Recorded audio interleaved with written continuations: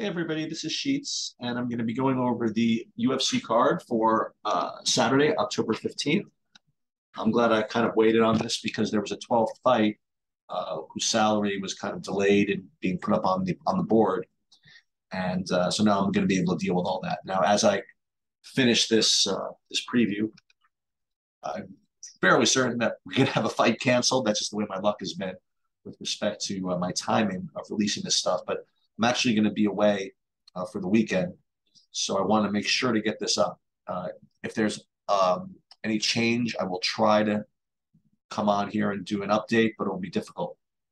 Uh, nonetheless, it is a 12 fight card, which is, I guess, on the small side. I mean, we've had lower, we've had higher. And as far as potential scoring, I think it's probably, I would say, on the average side um, not particularly high scoring, not particularly low scoring.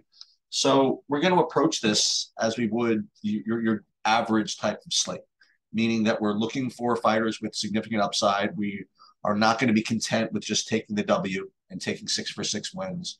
Uh, even with underdogs, we're going to attempt to, to prioritize those underdogs that you know that have good high scoring upside. Um, if it were a much smaller slate, I'd be kind of content to get six for six. If it was a much bigger slate, I would be even more uh, greedy about the type of upside I'd be wanting for my fighters. So I think that overall, I think that we are going to be moderately greedy with our underdogs, moderately greedy with our favorites, and things like that.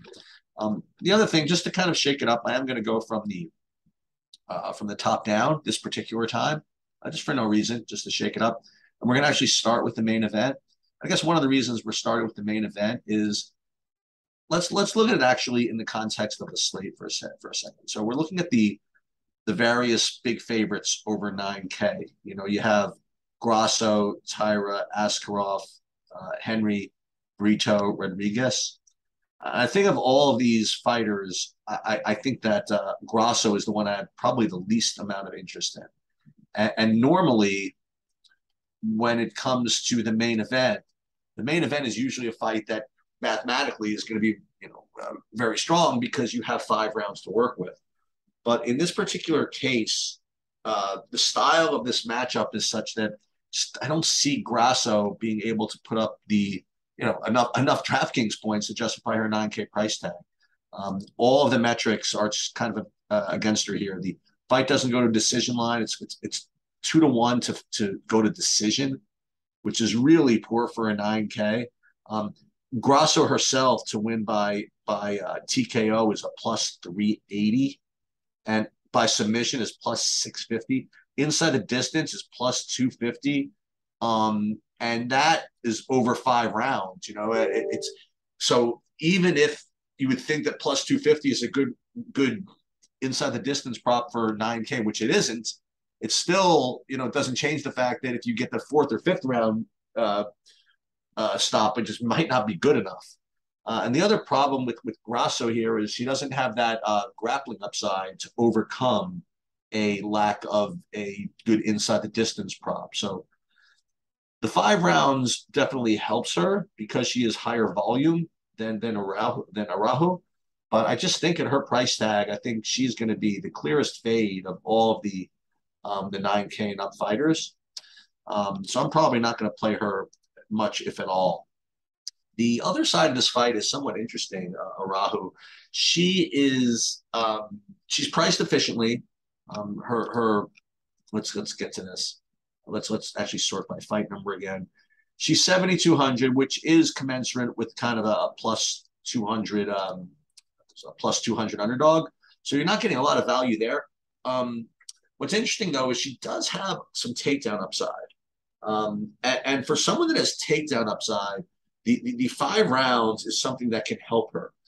Now, the thing that's kind of that's going to depress her ownership a little bit is is a narrative which I've I don't want to call it a narrative. It's it's an observation that a lot of MMA experts have have come up with over the last you know week of, of content that Araujo is not particularly suited for a, a five round fight. Um, people have commented that in the third round she's gotten gassed out a little bit, and and I I take issue with that type of analysis in general. um, for this reason. You know, if, if you're a fighter and you have are been told that it's a three round fight, you're going to train for a three round fight. You're going to plan for a three round fight. And in a perfect world, you're going to expend your energy um, efficiently to account for the possibility of it going three rounds. And that's it. You know, you're, you're not you're not planning. It's kind of like inventory control. You know what I mean? If, if, if you if you have too much inventory, that's not behaving efficiently either. You know what you're supposed to do. Eh, forget inventory for a second. If you're planning for a fight, it should be that you expend all of your energy as late as possible. In other words, at the end of the fight, you should have literally nothing else left to give. Okay. Otherwise, you pro- especially if you lost, you you haven't behaved efficiently, right? You did not use your cardio appropriately if you are just completely fresh at the end of the fight, and especially if you lost. Um, so I, I'm of the belief that unless there's extreme evidence to the contrary that you can't fight five rounds, I'm going to presume that in a five round fight, a reasonable trainer and a reasonable fighter is going to just, you know, pace herself more appropriately. Um, and as such, I do think that she is a pretty live underdog here. You know, g- given her, listen, she's two to one, so it's not great. Okay, so she's only going to win 33% of the time. But I do feel as though her path to victory, including ups, including takedowns, if I'm right about the cardio and that she can make it through five rounds, we, we talk about having five rounds to work with with respect to a striker. But if your path to victory in some form depends on takedowns, imagine having five rounds to work with with respect to takedowns. You know, if all you need, and this is this is what I've noticed, is if you can find one kind of entree, like one takedown approach that works against a particular fighter, they're not going to be able to fix it right on the spot. And you could go right back to that, like for the, the entirety of the fight. I mean, I've seen, especially women fighters, I've seen, well, actually, especially women fighters, one woman fighter I saw found that all she had to do was take this one headlock trip takedown of someone, and and she just had no answer for it, and she just kept doing it, and she was about a five to one favorite, and she won kind of going away. Um, and so I do think that the five rounds going to help Araujo. Um, is it going to help her more than Grasso? I, I really think so. Um, is it going to help her more? It's kind of an interesting question, but but nonetheless, I do think that Araujo is the preferred side here in this fight from a DFS perspective, and I, I will get to some of her. Um, okay, Cub Swanson against Jonathan Martinez. You have let's look at first of all the the pricing here. You have about a two to one, so the, the pricing should be somewhat similar to that first fight, and you actually are getting, I guess, a little bit of relative value on Martinez. Um, Martinez is only 8,800 and he's being priced. Nah, actually, it's about the same. So he's about, there's no real difference between the Grasso fight and the Martinez fight with respect to equity pricing. Let's take a look, though, at the inside the distance props here. You have pretty poor fight, you know, pretty poor, pretty poor fight doesn't go decision line of minus 135 goes to decision. Um, and even when you break that down by fighter, you have you what do you have? Swanson inside the distance plus 400. And Martinez, Martinez inside the distance is what? He is plus 200. Okay, that's that's okay, right? Martinez inside this is plus 209k. It's not great though. Remember, we I just talked about that with respect to uh to Grasso up there. Um, so plus 200 at 9k is not great, but plus 200, 1800, maybe a little bit better. So um, I think that actually Martinez, given the way ownership is probably going to spread out this week, I think that Martinez could be a good low owned play. Um, one of the benefits of you having me do this video after absorbing some content is I get to hear like a lot of the takes of all of the you know all the content providers that people follow, and I've heard a lot of takes about Cub Swanson being a good live underdog. A lot of takes with Cub Swanson having knockout upside and things like that. Um, I have not heard yet anyone, anyone, um, support a take that Jonathan Martinez gets the knockout. Um, and and the fact that he is only plus two to one, uh, I would expect to, to to get a KO or to get to finish. I would expect to see a little bit of that, but I've seen none of it. So with that said, I, I feel as though his ownership relative to his, to his odds is going to be extremely low. And on a 12 fight slate, you do want to be somewhat different. I mean, significantly different. I think Martinez is actually the sneaky leverage play um, in this in this spot. So now you have Askar Askarov against Brandon Royval.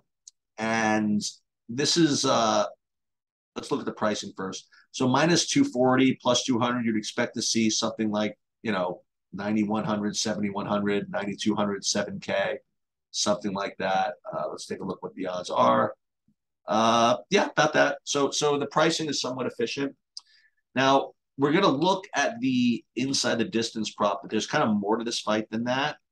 But the inside the distance prop, you have uh, fight doesn't go to decision. It's about to pick them minus 120 versus minus 110. And when you break it down between fighters, you have Askarov uh, inside the distance, again, plus 200, not great.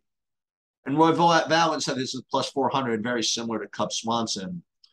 But the thing that, that what's different here is that Askarov has extreme grappling upside. Um, he he goes for quite a bit of takedowns, and Roy Royval tends to give up quite a bit of takedowns. So Askarov does have that takedown upside that will overcome a, a lack of a good inside the distance prop. Um, so if ownership weren't a thing, I would say that Askarov is probably significantly better playing Martinez because, um, well, I should say significantly, he is a little bit more expensive, right? So that that goes against him. But the inside the distance prop is exactly the same, but he's got all that takedown upside. So so I do think that Askarov's a better play than Martinez, but as you'll see, I believe that Askarov is going to be one of the most popular fighters on the overall uh, on the whole slate. Um, given his price, given his grappling upside, given the perceived at least relative safety, um, you know, listen, the case I made is a case that people can make really easily. I mean, minus 240. He's, you know, he, he minds his P's and Q's. He gets on top. He controls. Good combination of safety plus upside. I mean, I think it's a obviously a really, really strong play. Uh, Brandon Royval, uh, I'm not to lie. Uh, I, I, was actually swayed by by a take uh, on Brandon Royval, the guy I respect, who really likes him a lot, and literally for no other reason, i I, going to use him. I mean, he's uh he's very active. He goes for a lot of submissions, and while everything instinctively leads me to believe that Askarov just is going to like blanket him and not let Royval breathe, and and Royval's not going to be able to get to any of those submission attempts. Um, just I, again, a couple of guys that I know they're really smart say that Royval's got a lot of value here, so I'm going to try it. Um, just because he does have at least some degree of, of submission upside. Um, if you look at it, he is plus 380 inside the distance, which is it's actually a little better than Cub, um, and better than uh, than uh, well is better than Cub Swanson, for example. And his price is cheaper than Cub Swanson. So I think that I think that Royval is definitely a better underdog play than Cub Swanson, especially given where I think ownership's going to come in. I do think Cub is going to get some ownership. Um, so I, I, do like both sides of this fight. Uh, Askarov is going to be the chalkier side. Royval is going to be probably the lower own side, but I do like both sides of this. So just just go uh, or Durko it says. I think it's Dusko uh, Todorovic versus Jordan Wright. So this is uh, one of the higher inside the distance props you'll ever see. Um, you have, well, they don't even have it here. It's like minus like 600 or something like that. Um, if you look at the inside the distance props of these guys, you have Wright inside the distance plus 200. And then you have um, Todorovic. Where is he? Inside the distance. Doesn't even have them here. But but trust me, but th- this fight is is is projected to end inside one and a half rounds, and you have to actually lay odds to even get to even play the over one and a half rounds. And that's that's pretty rare. Um, and it's not even close. And, and, the reason why is because both of these guys just always just throw down, throw down. Jordan Rice specifically, I mean, I don't think he's ever gotten past like 30 seconds of the second round. Um, and Todorovic is is you know he he gets knocked out, he knocks people out, and all this stuff. So so how do you handle a fight like this? Because everybody's going to be all over this, right? Everybody's going to see this whole thing. Everybody's going to see exactly what I just said. So there's there's well there's three ways you could do it. I'm going to tell you what I'm going to do. One, well, one thing you could do is try to fade it completely. It's going to be incredibly high owned, um, and you could do that. I certainly wouldn't wouldn't be you know wouldn't wouldn't wouldn't yell at you for doing that just from the standpoint of ownership because I think that playing somebody from this fight is going to be the super obvious thing to do. Um, another way that you could play, which I think most people are actually going to play, is they're going to put like a certain amount on Todorovic and a certain amount on Jordan Wright, usually usually conducive to either their win odds or their price. Like you look at the price here, you have 8,700 versus 7,500. So that kind of translates to about a, what is about a 190 favorite. Let's see if let's see if there's any any difference here in the actual. I mean, it's pretty. Well, here's one thing that is somewhat different, right? So you have Todorovic, who's actually a bigger favorite than Grasso, who's priced and he's priced lower. He's a bigger favorite than Jonathan Martinez. He's priced about the same, right? Um, and he's got that incredible grapple, you know, KO upside as well. So I think Todorovic does have some line value here um, at this price. I think he should be more like 8,800. Ah, so it's not that much, I guess. Um, so, and that's reasonable. What, what people are probably going to do is, is, and this is, you know, I can't argue with this, is to play, say, 60% Todorovic, 40% Wright, and, you know, just let the chips fall where they may. And if you do that, you're, I want to say with the field, because people aren't going, you know, 100% of the people are not going to go 100% of the fight, right? Not everybody's going to do that. There are people who are going to fade it, some people do whatever. But that is definitely of the people that know what they're doing going to be the, the, the common thing to do. But what I would probably recommend um, is something a little different. Uh, I, I, I would recommend, and this is what I'm try, trying to do a little more of, is when you have these fights where you know I don't know who's going to win, but I'm taking one or the other. To differentiate yourself, just just take a stand on one of them. Okay, just take a stand on one of them. Um, both of them are good plays, right? They're both good plays. But if you play both of them, you're kind of with the field for openers, and you just kind of, especially in MME, reduce the amount of combinations you can get on the on the fights that you're less sure of. You know, uh, as far as whether either going to be in the optimal or not. So, so I would actually prefer to take a side here. As for what side I would take, I honestly don't know. Um, I, I, I think that um, I think that relative to their, I think relative to their prices and their chances of winning, I do think that Wright is going to be more overowned than Todorovic.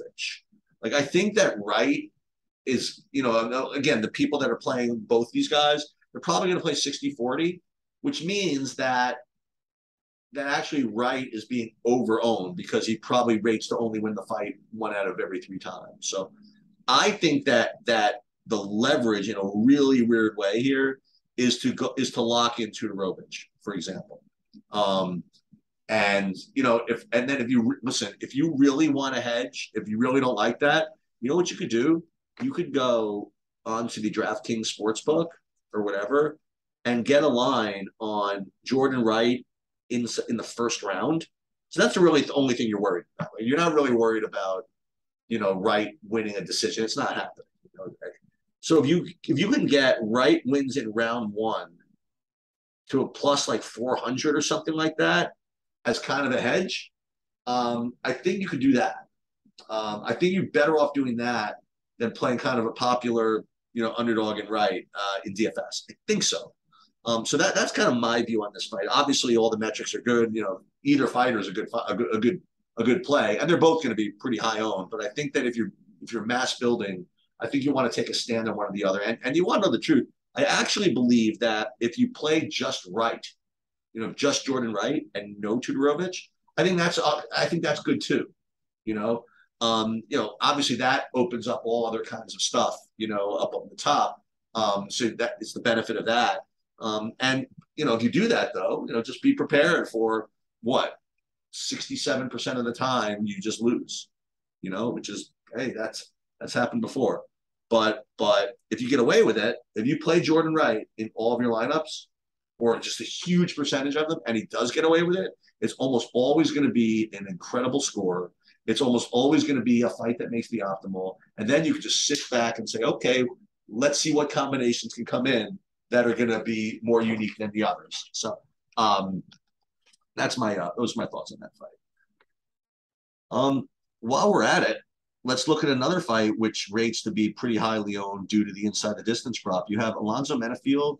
He's minus 200 against Cirkunov. So the pricing is very similar. So I'm expecting to see the excuse me, the the odds are very similar. So we're expecting to see something similar as far as the pricing gap. But let's just take a look here. Why do I keep going to steps?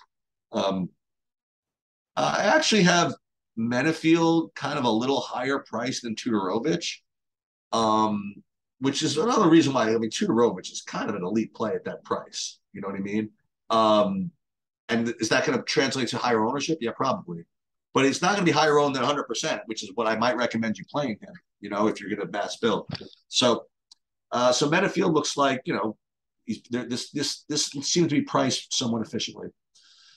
Um, let's look at the inside the distance prop here, and as you'll see, it's extremely strong. Fight doesn't go to decision, it's minus 360. If it were not for this Jordan Wright fight, this would clearly be the fight that everybody would would attack 100%. And it's very possible that people do that anyway. You know, like if you were going to build like a lineup, and and you know I would say, hey, what's your first lineup? How would you approach this? The first thing I would do is I would take somebody from the um, from this fight, right? Um, excuse me, somebody from the the Todorovic Wright fight and somebody from the Menifield Cirkunov fight. And what you would do, let's say you want to play multiple entries, you play all combinations of those four fighters right? And so you end up with what was it? Six combinations, four combinations. My, my brain is fried Wright now. But you play Todorovic with Menifield, Todorovic with Cirkunov, Wright? With Menifield, right with Cirkunov. So four four lineups to start off with, okay? And you go 100% on on this these two you know these two fights, and certainly makes sense. I mean, with that type of inside the distance prop, um, that's that's kind of what you, what you're looking for as far as good, you know, as good GPP good GPP plays. Um, let's break it down a little bit by where it's coming from. So you have Menifield, who is basically uh, he's he's a pick'em inside the distance, and that's strong. You know, like compared to those other 9K fighters we talked about who were minus, you know, plus 200, this, you know, pick them inside the distance is tough. You know, that that's really, really strong um, at 8,800. And then you have, and then you have uh, Cirkunov inside the distance plus 250, which is, it's just not bad. You know, look, it's, it's a hell of a lot better than, than, um, what's his name? Then uh, uh, Cub Swanson at a similar price, right? All the other 7K fighters I talked about were all like plus 400, right? Inside the distance. So his inside the distance prop is extremely strong, not to mention the fact that he's got takedown upside. Okay. So Cirkunov is an extremely, extremely strong play. Okay. Um, so uh, for all those reasons, I do think both these fighters are just incredible GPP plays don't know exactly which one I prefer. Um, I would just again say that you should probably play.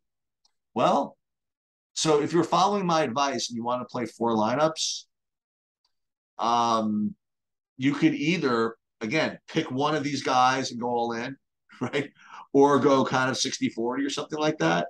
And I, I would totally support either either approach, but I definitely think you need to take at least somebody from this one. Uh, okay. Um, Brandon Davis against Mana Martinez. Again, let's first take a look at the odds. Uh, make sure there's no sneaky line value we didn't didn't know about. So she's my so he's minus 160. So I imagine he's going to be something like 8600 or maybe 8700, and it would be only 8500. All right. So Mana Martinez actually has a little bit of line value here um, not through the roof, but definitely, you know, is that worth noting? Yeah, I think that that's worth noting. A little bit of line value there. Um, let's take a look at the inside the distance props here. You have fight doesn't go to decision, but pick them. I mean, not great. Then if we break this down, you have Martinez wins inside the distance is plus 180. Plus 180 is not great at uh, certainly at the 9K level, but at the 8600 it's it's fair. You know, it's not the best, but it's certainly fair. I definitely regard the Martinez side as kind of a, you know, a secondary GPP type play. Um, problem is that I've heard a lot of Mana Martinez talking content this week. So it's possible that he's going to be a little bit higher owned than maybe he should be. Uh, let's take a look at the Davis side. Davis inside the distance plus 350. Now, again, we're still talking about the similar inside the distance prop to other guys that, you know, uh, what you call it. Uh, well, he's to other guys who are cheaper, right? So, so I'm I'm not interested in the Brandon Davis side of this year. I might as well go play, you know, Cub Swanson 7400, um, uh, then play Brandon Davis 7700. We already determined I don't even, you know, Cub Swanson might be, you know, even worse than than say Royval at 7K. You know, so um, I'd rather play like a, a Brandon Royval than say a Brandon Davis. The only thing I would say is that Brandon Davis might be low owned, so you do have that going for you. Um, so as far as I'm concerned, I think this fight is overall kind of a secondary uh, fight to attack. It's not something that you really need. And but if you do play like 150, you're going to get to this, and that certainly is okay also. So now we have the fight that was added. You have Joanderson Brito uh, against replacement fighter Lucas Alexander. And I've seen these before, and this is just, you know, this is just something you have to play. I mean, you have a guy coming on short notice against a knockout artist, and and, and the odds don't lie here. He's he's a minus 400, and they priced him at 9,400. Um, pretty reasonable, I think. You look at the inside the distance prop here. Let's take a look at it. You have Brito win specifically by TKO plus 120, but plus 250 uh, by submission inside the, for him to win inside the distance is minus 165. Now that's really strong. You know, as a matter of fact, Brito wins in round one is plus 130. I mean, these these types of metrics are very, very difficult to fade. The, the only reason you'd fade them is because it would, it would make your lineups a little bit too hard, or if they're the ownership went through the roof. I think what you have to hope for on the Brito side, because I do think it's a pretty elite play given those numbers, you have to hope that because he didn't wasn't added to the slate until Thursday, he won't be as as highly uh, analyzed. But unfortunately, that's not the case because the content has been has been talking about this fight. They haven't been talking about it from the respective DFS for a while, but I do. I don't think you're getting any break on this fight, but I think it's a tough one to fade. Um, uh, so and and and I don't like the Lucas Alexander side at all. So for me, it's going to be Brito if I can get to him, and I should be able to, um, or nothing. Okay, Victor Henry versus uh, Asuncio. Uh, another minus 400. Um, and this one, though, you look at the pricing, it's about, you know, it's pretty same. It's pretty much the same as the, uh, as the, uh, uh, Rodriguez. Are we talking about? As Brito, it's pretty much the same. 9,400 versus 9,300. So let's take a look at the inside the distance prop on that one. Um, Victor Henry, see, this is much worse, right? This fight doesn't go to decision line is minus only 125. And then you have Henry winning by TKO plus 150. Well, hold on. Let's take a look here. Henry inside the distance is minus one, minus 130. I mean, that's not bad, right? Compare that to, say, Brito. His inside the distance minus 165. So it's it's close. I don't think this is that bad. So I actually do think that that Henry is almost maybe almost as good a play as Brito. I wasn't expecting that because Henry, listen, Henry was a four to one underdog in his last fight. Um, and he doesn't really fit the profile of the guy that has all kinds of KO upside. But you know, he is fighting a guy who's older. And one thing I've, I've noticed also about these kind of older fighters that might be at the end of their careers is they they kind of they tend to give up a little faster than the younger guys who are still fighting for future fights. So I do think that there is there's definitely a KO upside in the Henry side here. So I'm definitely going to include that as kind of one of my top plays. Um, and I don't I do think that Henry's going to be lower owned than than Brito. Um, and well, certainly going to be lower owned than the, the Todorovic and all that stuff. So uh, and I'm not going to get to any Assunção as as a dog here. So this next fight kind of gives me a headache. All right, um, Maximov versus Malkoun. You have you have is about a 130 favorite, um, which probably get him about maybe the 8,300 price tag, and that's exactly what he gets: 8,300 versus 7,900. There's going to be a very poor inside the distance prop here because, um, you know, let's look at it. Fight doesn't go to decision is like it's it's it's it's a big favorite to, to go to decision. The reason why is because the UFC decided they were going to be be wise guys and just pair two stone singular wrestlers. I wouldn't say they're stoned, but stone. I was going to say stone cold wrestlers, not stone. Stone cold wrestlers up against one another. What they usually do is they make it somewhat interesting. They put wrestler versus you know striker, or grappler versus striker. But here they're putting two total wrestlers up against one another. Don't understand that quite quite a lot, and this is not really good for the UFC brand. I mean, the whole idea of mixed martial arts is to see different types of fighters, whatever. Anyway, um, so what happens is you have two guys that, in and of themselves, have a have have good scoring upside as far as the grappling goes. But but but you know, listen, if, if the guy gets a lot of takedowns, he's going to score well in decisions, even.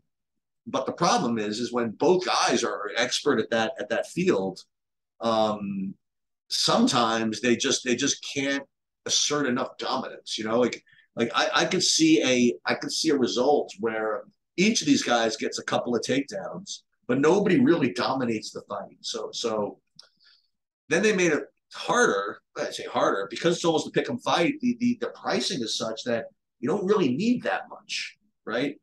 Um, I don't need a hundred. I think out of these guys to get there. Um, it would be nice, but you don't really need a hundred.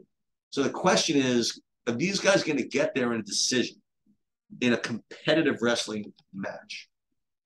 Boy, I, I tend to think no, but but there's there's another way to look at fights like this, which which I remember from Ricky Simon was fighting someone, and the two of them had both had, you know, it was gonna they both had a lot of wrestling upside.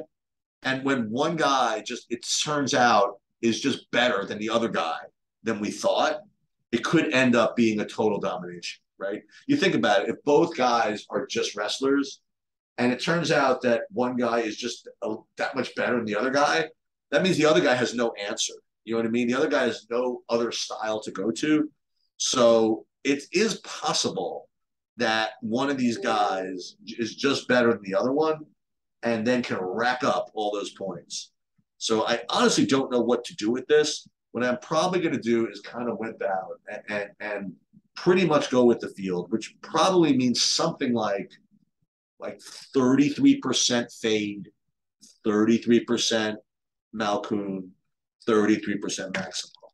I'm gonna, you know, it's, it's very little value added in that anal- in that approach, but I just really don't know what to make of it. Um, I, I want 33% of each guy just in case, right? Because if you if you if you if if that if if if um scenario C is correct and one guy dominates the other and the other guy has no answers, that's you, you just lose if you don't have that guy. You know, that's the way you get 100 points. Uh, and if you don't have a 100 point guy at 8,300, that's that's tough. Um, but the fade works too. You know, I've seen this situation where they end up kind of like doing some awful striking, or worse, like maybe like one guy gets a takedown one round, the other guy gets a takedown the second round, or or even like they keep they alternate takedowns a little bit, and then the the, the winner in the decision that's like 75 or 80. You know what I mean? So I could see this going a lot of different ways, and I just honestly don't know what to do with it.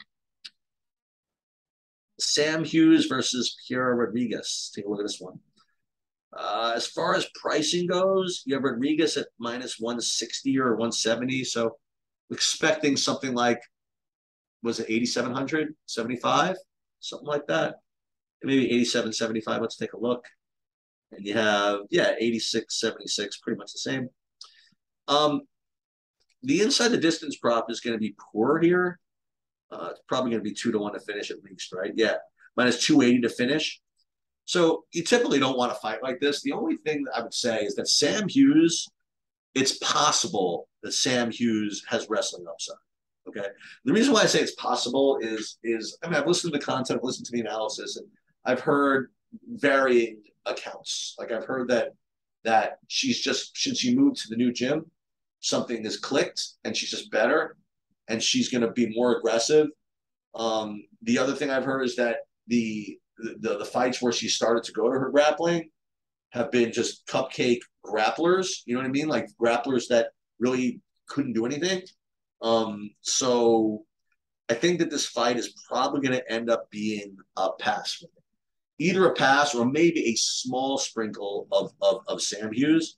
Um, if Sam Hughes were going to be really popular, I would say just blindly take you know Rodriguez as, as kind of leverage. But but I don't think I want to do that. I think I think that I'll play a little bit of Hughes just in case. You know what I mean? But but I don't. I'm not going to make her a priority. And Rodriguez again is uh, I'm probably not going to get to. Uh, last two fights, you have Tatsu Taira versus CJ Vergara. You have a minus 250. So a minus 250, you know, is probably going to look like um a 9200 ish or something like that 91 probably 9100 9200 take a look and see what that is. Uh that is correct. 9100 7100 right on the nose. Let's take a look at the inside the distance prop here. You have you have fight doesn't go to decision. It's it's not the greatest. You know it's minus 175 um, that's not really good. And Let's let's see how it breaks down. You have well, first you have Vergara inside the distance plus 500. And that's worse than some of the other guys we mentioned. So he's out, at least for me. Taira inside the distance is plus 240, and that's kind of poor, you know?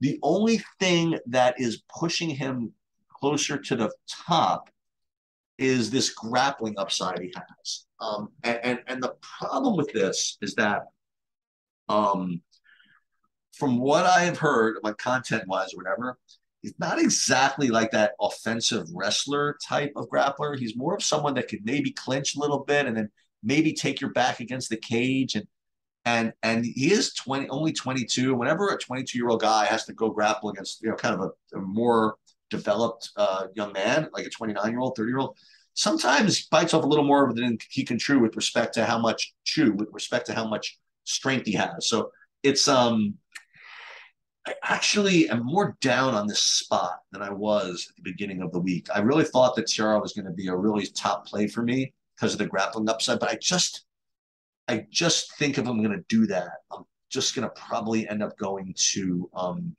to Askarov. Um, I just feel as though the Taira and, and Vergara is is is he's been around the block. He's got throw some volume. He gets after it I think at 9,100, I just don't feel as though I have the same degree of safety, not so much from the win because the odds are what they are, but safety with respect to his upside. You know, I just don't, I'm just not 100% convinced that this is where this fight's going to go. So I do, you know, look, he, he's he, he's okay. And sure, he can take him, take us back in the first round and submit him and gets 100 or whatever. Um, but I think that his price is is makes him kind of a poor to fair play. That's the best I can hedge on that one. And Vergara, I, would like to play him, but it just is, you know, the inside the distance prop is not good enough. And and I just I just want finishing upside from these underdogs in this particular slate. And you have Mike Jackson against Pete Rodriguez. Now you have a plus five, a minus 500, excuse me, minus 700. So what do you do with a minus 700 guy? What do you price him at? I mean, probably like 9,500 or something. I think that's what they did, right? They got him at 9,500. Yeah, he's 9,500. And then you look at the inside the distance prop here. I mean, listen, for a 9,500 guy, he's got to have either, you know, a insane inside the distance prop or or grappling ground and pound upside or both. Uh, let's just take a look at it. You have an inside the distance prop. Well, it's minus 700 to not go to decision. Ouch. Um, boy, I thought that Todorovic line was was was was interesting. And then the funniest thing is that it's probably all on this one guy. Yeah, I mean you have Rodriguez inside the distance minus 360. I mean, that's tough to fade, right? That's just ridiculous. I mean, you think about it, compare that to like to who is 9400 like Brito? I mean, yeah, Brito's first of all is twice as less likely to win. And, and the other thing is that have Brito inside the distance is let's look at it again. Brito inside the distance is minus 165. I mean, that's like so much worse. And and it's only an extra hundred bucks, you know. So boy, it kind of stinks to play these types of fighters, but the numbers are just so strong. And then you have, let's see what his odds of knocking him out in the first round. That's really what you need, right? Um, Rodriguez in the first round is where is this? Is okay, it's minus 190 in round one. Are you kidding? So 67% of the time he scores 100 points. I mean, you just have, I think you just have to play this and figure out the rest. You know, these numbers are just too strong. And, and the sick thing is, I have heard some takes that Jackson is live. Um, Jackson, in his last fight, which was supposed to be exactly like this, he ended up, uh, the guy was uh, fighting, ended up being like awful. And they ended up like clinching, and the other guy like poked him in the eye, and they had a nose contest. And that's certainly in play this week. But I mean, the guy that, that he's fighting here, Rodriguez, I mean, he has like a whole bunch of first round KOs. I just think that these numbers just kind of overcome all that. And I just kind of hope that all the narrative about what happened last time Jackson fought and the, and, and the small little takes I'm seeing on Jackson maybe keeps Rodriguez's ownership low. I mean, perchance to dream, I guess, but I mean, you just kind of have to play this. as the bottom line. And I'm not playing Jackson plus 600. Not, not, not for me. Um, so overall, I mean, let's just kind of review here. I mean, we, we kind of went from the top down, and I think it was it was kind of easy to identify the underdogs that were kind of in play here, just to kind of review them.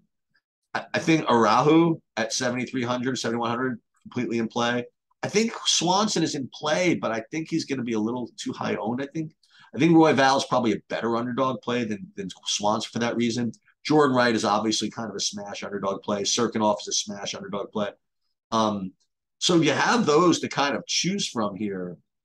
I mean, you're kind of in business. You know, you can get to these to these ninety five hundred dollar fighters with with kind of ease if you if you could play you know several of those underdogs together. Um, and again, if you want kind of the hoodoo play, I think that's going to be the low owned play that might fall uh, by the wayside is a an admittedly bad projection, but whatever, of Jonathan Martinez. Because I think that he and listen, I tried this the other week and it didn't work out. I had the same take on, on Andre Fili. I thought Fili was going to be a smash play, smash play. I thought he was a great leverage play off of all that other stuff at the same price range. He ended up just getting a decision, so that didn't help me. But I think that Martinez is inside the distance prop. Again, let's take a look at what's it plus 200. Um, uh, plus 225 KO. Um, inside the distance completely is it's plus 200. So it's not the greatest, but 33% of the time he gets a finish, you know, and, and no one's going to play him. I don't say nobody, but I don't know. I think if people pile on the Askarov, look, if you get Royval home, all right, you you you you deal with the Askarov stuff. And then if you could then have kind of a, an extra bit of leverage in Martinez, um, and let's just say that you played Wright and didn't play Todorovic in that lineup, you know, you you have Martinez as the same price as Todorovic. and then if you get that parlay of Wright and Royval, I mean, let's go. You know, then then then you play the Martinez, you could play the the the the, the Rodriguez, you know, and then you're then you're in business. I think that these mid range fights like the Malkouns and the Maximovs and the and the and the um the Mana Martinez is even, you know, I think I think those fights are not going to be particularly interesting to me.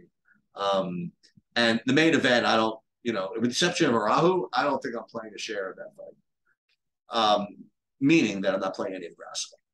All right. Uh, I think it's going to be a fun, fun card. Um, uh, hope you guys uh, are in contention and take it down.